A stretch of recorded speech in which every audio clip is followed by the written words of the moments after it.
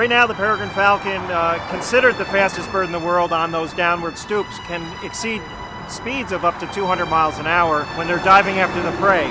There are over 20 pair of peregrine falcons right now in the five boroughs of New York City. Many of them nest atop bridges, buildings, and some towers, often easy to see from uh, roadsides or from parks.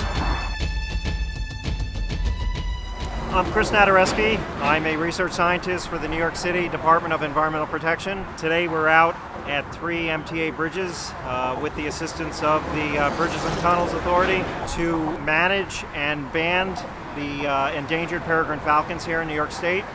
Uh, three bridge sites we visited today, the Verrazano Narrows, where uh, one young successfully hatched out. And at the Marine Parkway Bridge, uh, we had four young and here at the Throgs Neck right now, we just got down from the tower where two young have successfully hatched.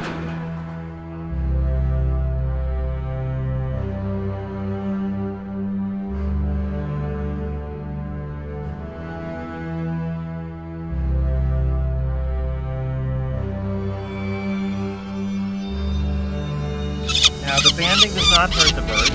It does make a lot of noise.